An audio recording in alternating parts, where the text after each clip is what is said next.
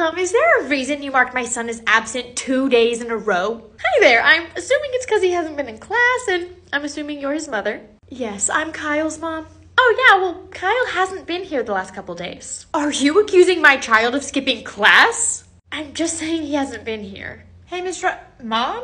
What are you doing here? Kyle, give us a minute. Mommy's talking to the teacher about her mistakes. Wait, Kyle?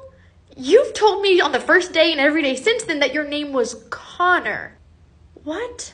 He sat in the assigned seat for Connor. He introduced himself as Connor. He's been responding to the name Connor every day. Oh, yeah, Mom, Connor and I pranked Miss Rogers. We switched our names. That explains it. I guess it's been Connor who's been the one that's been absent. It's been three weeks of school. You don't know their names?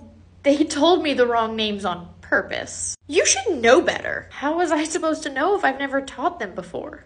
This is why teachers aren't taken seriously. Let's go, Kyle. I know, get mad.